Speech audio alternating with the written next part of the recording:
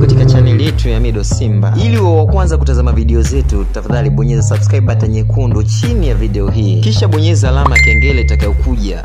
Asante. Yeah, as you know, leo Aprili 19 mwaka huu 2018, nguli wa muziki wa Bongo Flava anamzungumzia Alikiba na CEO wa lebo ya Kings Music.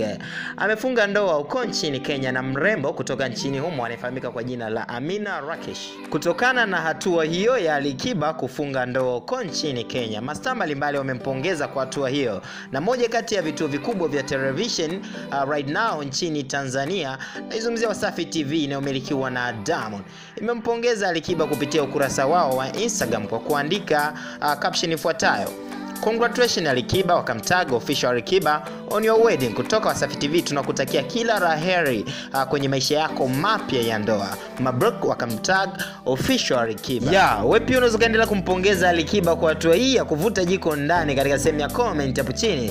I mean comment section.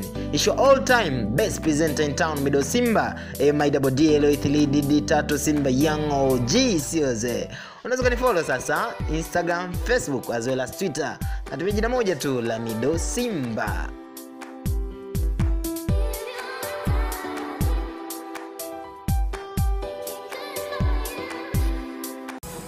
Middle Simba, we are everywhere. Middle Simba, we are everywhere.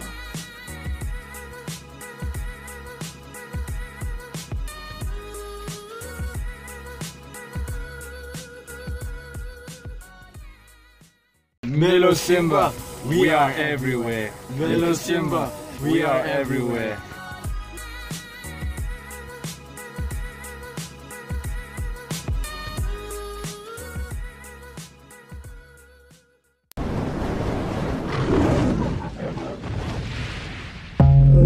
karibu katika chaneli yetu ya mido simba ili uwe wa kwanza kutazama video zetu tafadhali bonyeza subscribe button nyekundu chini ya video hii kisha bonyeza alama ya kengele itakayokuja asante